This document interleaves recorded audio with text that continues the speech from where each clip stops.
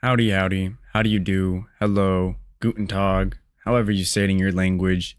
It's the one, the only Benjamin Scovach, the good American, the last good American.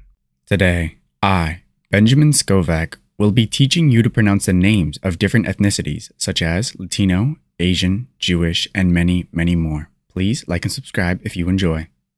Today's ethnicity of the day is Jewish Sex Blue Film 2023. Jewish.